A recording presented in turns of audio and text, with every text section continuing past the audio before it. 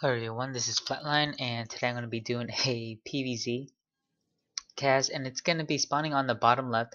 It's going to be the red Protoss from Root is Root Minigun. And spawning on the top right as the uh, blue Zerg is gonna be I have no idea how to say this name. So we're gonna say Wick that's the only thing I see. Wick Wick. Oh. Okay, so it's Wick Wick. I guess that's his name. And he's gonna be the uh, Blue Zerg. It's gonna be his opponent. Now Root Minigun just joined back up with Root. Um, he left Complexity because his interest is no longer into the uh, live competitive events uh, for now. So he is just gonna he thought it was best if both of them just parted away because Complexity is a you know one of those powerhouse teams in North America. And they usually send their players to these live events like MLG, IPL, and ASL, all that kind of jazz. And it just wasn't in Minigun's interest to participate at live events at the uh, during this time. So they uh, they parted away and you know he joined up back with the Root. And Root, they they have some sponsors, but I'm pretty sure their budget isn't as high or as flexible as um, Complexity. So they are mostly going to be focusing on online events, I would assume, like uh, team leagues and and all that kind of stuff. And that fits perfectly with Minigun. Minigun can play online. He's fun. He's inside his home environment, so he's pretty comfortable where he's at. And he also stated in the um, in the interview that he is uh he wasn't feeling like a team with complexity. He just knew um, Trimaster, and that's it. That's the only person he talked to, but everyone else he just didn't really talk to or hang out with with complexity, and he felt isolated um, from them. So he thought it was best because most of them were in the uh, complexity team house except him. He chose not to go there. And complexity was completely fine with it. They treated him pretty well, in fact. It's just that their vision of 2013 were different, and just the best thing to do for both of them. So going into this game, um, Wick Wick is just going to be opening up pretty standard with the uh, pool then hatch and then probably going to get a fast third hatch. And Minigun it went off with a Nexus first. Now Minigun, I haven't, I don't think I ever casted a game of his, but he is definitely a top three. He's definitely top three NA Protoss right now. Absolutely smart player, and he just he plays really really smart. It's not his mechanics that pretty much make him stand out. Um, it's pretty much how he plays, how he responds um, to situations and handles them very, very well. So you get to see one of his games now, and um, I found this on drop.sc. So if you do want to find this game, pretty much you could just look up Root Minigun on drop.sc and you see uh, this game against Wick Wick on their website, which is also a fantastic website to uh, find replays and upload replays. So you should definitely check them out. Um, but right now it's pretty much um, quiet for now because nothing you can really tell what Protoss is doing. I mean, he did get two gas. He hasn't started plus one. Um, this could be a very good indication of him trying to get a very fast tech. He wants to get a tech before his plus one. Nope, he's actually gonna start it with his ever, uh, with his warp gate. So I guess he just wants them to line up right. Basically, once this work gets done, plus one attack should be finishing out for Minigun. Um, and going to Zerg's base, he is getting his three hatches already finished up. He's getting his double gas. Pretty much playing very, very standard from the Zerg side. Um, Minigun still hasn't thrown down any of his tech yet. He's getting a, a stalker out, which is pretty smart. Corner boosting it out. It's gonna help deny any of those uh, overlords to scout any of his tech. So Minigun what is he actually gonna go for? This map is pretty good to go for Robo, um, Robo centric builds. It's very easy to to hold your third on this map than let's say like Daybreak or something like that. The, the, the third on Daybreak can be somewhat difficult to hold because of how far you are stretched out. And we do some see some kind of pressure going on into this game right now. I think I'm just poking a little bit with the uh, six lings. It's going to cause four more lings being produced. And that's what Minigun pretty much wants um, Wick Wick to do. He just wants them to corner boost some units. And wow, he's actually going to get it very faster. So he's going to one gate Robo fast third. And now this is very, very interesting. We see how he holds this. Like I said, this is one of the few maps where you can get a pretty decent fast third on because you could you could easily wall this off with two gateways and a cannon. And so all you have to do is just focus your priority at your third. And then once that is um once you settle that, the Zerg has to accept that he can't kill it. And so he would just get a fourth, tech to, you know, infestors or whatever he wants to go for and then go from there. This also allows him to get a very fast observer. It's going to be able to scout what the Zerg player is going to be doing. Unlike Minigun, he also has this watchtower with the Zealot uh, able to spot all these lings from Wick Wick. We're going to see him immediately wall this off with that 2 gateway and the can. Oh, just a pylon, so he's not going to put a cannon there. Very, very interesting. And Wargate is finishing up at the same time. Plus 1 already finished. He's starting up plus 1 armor. And Immortal is in production now. He still hasn't scouted uh, Wick tech. He only saw a lot of lings coming out from Wick Wick. He also sees, I like this position though by this observer. He's able to see where the roach is. Um, I mean the units coming from Wick Wick. He's gonna look like he wants to apply some pressure, but he's not fully committing into this. You don't see him making too many roaches, so I expect him to get a pretty quick fourth as a response. And there's that uh, drone coming over here towards this fourth and he's to plant that down.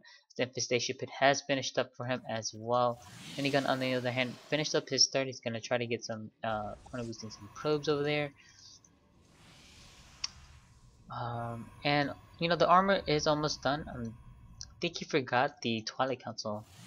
He doesn't have the Twilight Council right now, so his upgrades are to be put to a halt uh, temporarily, which is unfortunate for him. Um, a good transition when you get this very fast start from Minigun is if you go uh, for a 2-2 timing attack, you get plus 1 plus 1, you get a Twilight Council and a Forge. And once that Twilight Council finishes, you start 2-2 at the same time.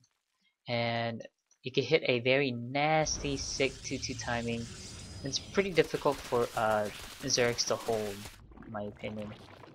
Um, as long as you stay with Immortal, uh, Blink Stalkers, Zealot, Sentry, Archon, and High Templars, but it looks like Minigun wants to play a little bit more passive than that, reducing that Forge and Twilight Council going down for him slightly later. Or he's going to come over, he's going to spot this extra Forge, so he knows he's going to be going pretty dedicated on ground. With this information, he knows that Minigun is not going to transition into Sky Toss, because you'll see lately a lot of Protoss are trying to implement some kind of Sky uh, transition in the PVZ matchup, because you do want to get into the Sky um, sky composition once that Zerg player has like 20 Broodlords or something it's very very difficult without a very good Vortex but it, it's pretty luck based to get that kind of good Vortex off against a good Zerg player so you don't really want to rely onto that in my opinion. Now Wick is getting his hive already Spire is on the way as well. He's lining this up very nicely. Um, he's also getting plus 2 Carapace plus 1 um, Missile, I mean, plus one, what is this, melee? Yeah. Plus one melee is finishing up and getting his plus two melee on the way. Now he's to start putting down some spines. He does have a lot of drones, 90 drones coming out for him. He wants to put up all these spines, which is perfectly fine for him. Which is to help him secure this base. He also has infestors to help delay this time. He also has a lot of lings here to try to delay this push even further and further. As Tutu is on the way, we do see external thermal being researched and a second robotics uh, finishing up for minigun somewhere. Oh, there it is. It's also adding on a lot of gateways, so for the amount of gateways, he's got 12 gateways and double robo. He might be going for a little poke in because he's also getting a Stargate, so it looks like he's going to apply some kind of pressure and then he's going to back up. I think it's going to hit right when he gets 2-2, which should be a very strong attack. Um, Wick Wick, on the other hand, looks like he wants to play a little bit more aggressive as he is also getting his fifth base. Not sure if I agree with this fifth base right here because um, it's getting towards the Protoss army but at the same time it can also mean that Wikwik wants to put on the aggression fairly soon. Once this Greater Spire is done, I feel like he's going to try to plant um, some spines up here and then position his army here. I'm just going to force it um, minigun to engage into this to hold this fourth base that it looks like he wants to try to get. And this is pretty smart from minigun. Using the uh, four stalkers and observer, picking out these three creep tumors and then just blinking away. Very, very nicely done by him. And he's also trying to get a zealot over here, but has been denied by the Lings. He's also getting the Ring of Spores because this is around the time when Protoss is going to try to transition into getting some Warp Prism harass going on, which you do see the Gravitic Drive being researched. I'm just going to turn those Warp Prisms into Speed Prisms fairly soon, and see Charge on the way, 3-3 on the way as well for Minigun. And 2-2 is finishing up for Wikwik now. Does have a lot of infestors. The units have 100 Zerglings Zerg player. 100 Zerglings, wow. 12 Infestors, which are pretty good healthy now for now. He's probably to want a couple of more, but here comes the Broodlords. 5 Broodlords have been more. And we'll see how he wants to respond to this. We do see a small Ling run by coming over here trying to attempt to pull this army back, and he does succeed. Fleet Beacon on the way as well. He does want to transition into getting some kind of a mothership. And this is where Protoss needs to find some kind of way to buy some time. They have the Broodlords, they have the Infestors. Is pretty much the time Zerg is going to play pretty much aggressive. And it's all up to Protoss to um, figure out a way to buy some time. Do you see this Immortal drop coming out from Minigun? I like this a lot. He had those two Immortals initially, um, that he produced to kind of defend against any kind of roachling aggression coming from Wikwik. Since it's not going to happen whatsoever, he can transition this into the later stage. You know, just use the two immortals that he doesn't really want in a super late game army composition. Just use it for pretty much drops. You can see him try to target fire the uh, hatchery. Is he going to get it this down? He's going to pull all of these units back over here. Um, Wikwik does not want to lose this to just two Mortals here, and they're just doing a fantastic job. We do see another run by coming over here from Minigun to be able to knock out this base. But the hatchery does stay alive for Wikwik. He does also have a queen, not only has transfusion as well. Minigun is playing very aggressive out on the map. Very active with his units, and I like this from him. He knows, you know, that Mortal Drop was going to force all the units coming back towards that base. It's time for him to, you know, play a little bit aggressive with his army, but he needs to be very, very careful. You can see him trying to have vision of the map right here, using that stalker and the zealot to um, to grab that watchtower because he needs to make sure his units does not get fungled. If his units gets fungled, it's pretty much over for Minigun because he doesn't have. It's really hard for him to rebuild this army in a very small timing frame because once you kill that off as a Zerg player, you're instantly gonna go straight towards the Protoss base it gets very difficult. Mothership, by the way, is halfway done for him, and plus one shields is on the way. Storm is on the way as well. We do see a couple of high templars being uh, worked in for minigun 180, 194 to 174 in favor of Zerg, and Zerg is gathering up a rather large bank right now. He has about 8k uh, minerals in the bank and 1400 gas. I mean, I do like this infestor right here pro infestor play right here, but it looks like he's not going to really be able to do anything anyways because Broodlings can do it for him, and that's actually a lot more free than using the energy for uh, some some Terrans or Fungals or whatever, whatever he wants to use. Now it looks like Minigun wants to engage. We do see that little um, cancel coming out from that little Zealot run by over there. And we do see that he does want to engage, but he doesn't have Vortex. Oh my god, the Broodlords are out of position. Snipes off two Broodlords right there. Very nice job by Minigun, not losing anything. And there goes the Storms, killing off all the uh, Zerglings, killing off the Infested Terrans as well. This is going to get pretty difficult for Wikwik. Wikwik is losing a bunch of units, but now the Fungals are being casted. The uh, number of Stalkers are dwindling quite a bit here, and Wikwik is going to be able to retreat from this. Um, Minigun does lose his fort. That's actually unfortunate for him. He also tried to establish a fifth base with the Zergling on the Runby, which is too good for him. We do see a Zealot run by earlier just knock out this base. Fantastic job by him again. The 90s bases. Now, the 90s bases, yeah, he has a lot of minerals, he can rebuild it. The thing is, he also loses production. He also loses the gas he gets from these extra bases. It's all about the gas and super late game and PvZ for both of the players. And, uh, and, that's why you can see a lot of lanes and a lot of zealots being produced. They're mainly to just trade for bases. They're mainly to trade bases so they're able to deny the amount of gas. You see another warping of zealots over here able to not even force a cancel, just pretty much take out that hatchery. And Wick Wick is getting pressured quite a bit here. He does have a lot of infestors, 14 infestors and 5 rulers. Not enough rulers to deal with this army though. But he does have a lot of infestors. We want to see how this pans out. Uh, Vegetarians are being thrown down here. Some nice fungals and vortex being casted onto some of those uh, some of those infestors. And uh, it looks like he might have to back up. This engagement is not the best position for Minigun as this huge ledge right here is just favoring Wick Wick right now. Very nice positioning by Wick Wick um, with his blue Broodlords over there. It's very hard for Minigun to kind of engage into that with the Stalkers. They just do not have enough range. And I think he's overstepping his boundaries right now and the uh, Festers are able to prevail. Uh, take him out. Oh my gosh, he loses three infestors unnecessarily there. Quick, quick, trying to re uh, re-establish composure right now. Getting some 10 lings and two infestors are out on the way as well do you see some more zealots being worked in over here. He's probably going to try to do a little run by as he engages towards the fourth of uh, Zerg. But did he overstep his boundaries? Uh, there is a decent amount of corruptors corrupting the uh, mothership. The mothership is to get taken down. And this is where it gets very difficult for, for us. Minigun trying to retreat um, immediately.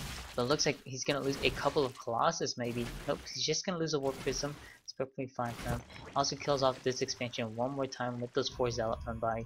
Minigun trying to establish a fifth base on the top left side or middle left side of the map. You see the infestor right here just chilling, burrowed, wondering if we're going to be able to see that being used anytime soon later in the game as a mothership is being produced at its main.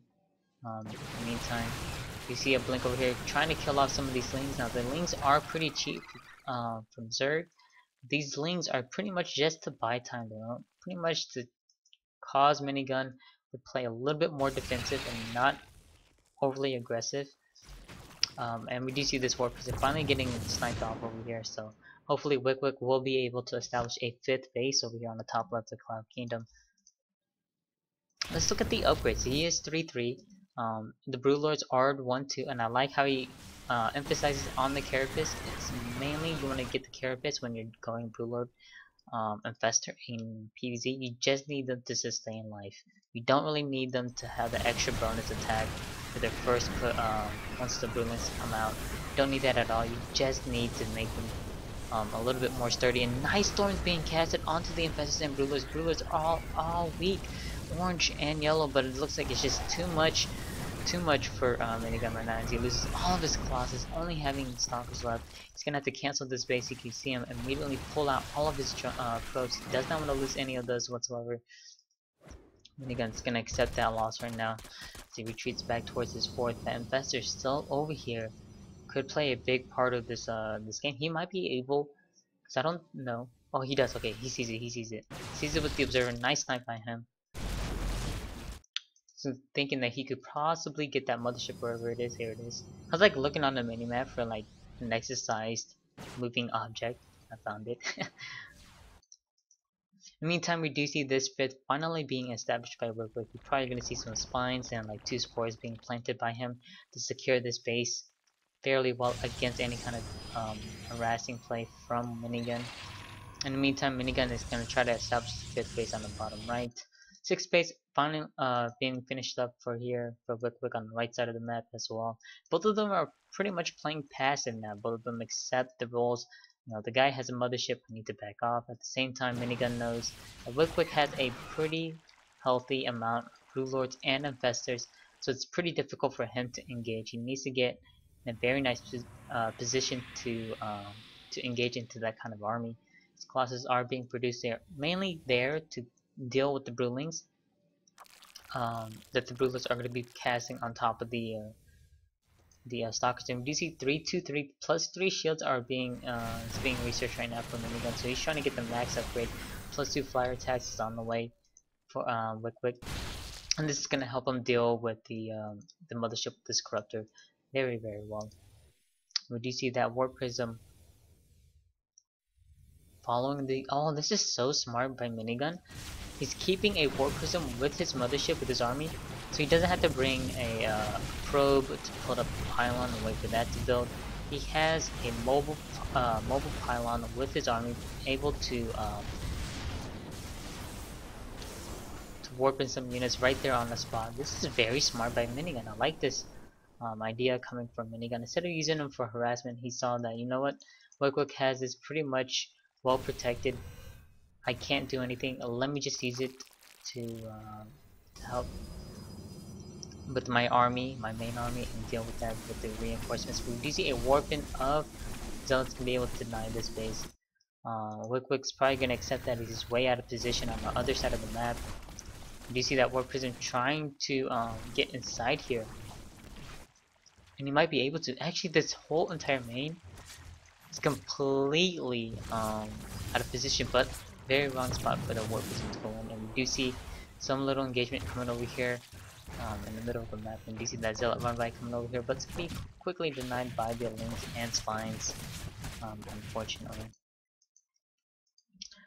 Going to the units tab, we do see 12 infestors, 16, I mean 16 infestors, 12 broodlords, and 13 corruptors uh, from Wikwik. So we might see an additional eight more best, uh, eight more Broodlords being morphed over here. And oh my gosh, look on the minimap and I found this a burrowed infestor right next to a mothership. This could be the game ender if he makes if he neurals this uh, mothership and casts two vortex.